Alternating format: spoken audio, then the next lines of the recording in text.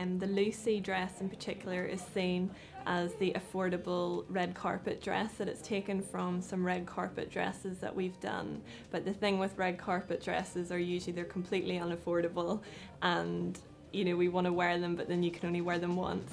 So with these dresses I've kept them really simple so that we can sort of add the accessories to them.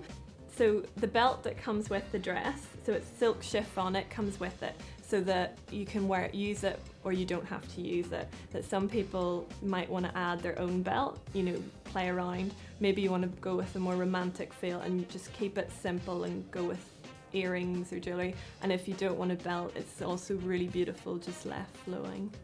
When you buy a dress, you want to wear it lots of different ways that you know, where there's, you know, Brand Alley customers smart, stylish, savvy girl and, you know, she's not going to blow her money on one garment that's going to be worn once, that they want to spend money on a garment, I could wear it at this and I could wear it at that. And so you're buying one dress, but you're actually getting about six or seven different dresses as well, if not more. So it's a very much a, it's a quality and you're getting value for money.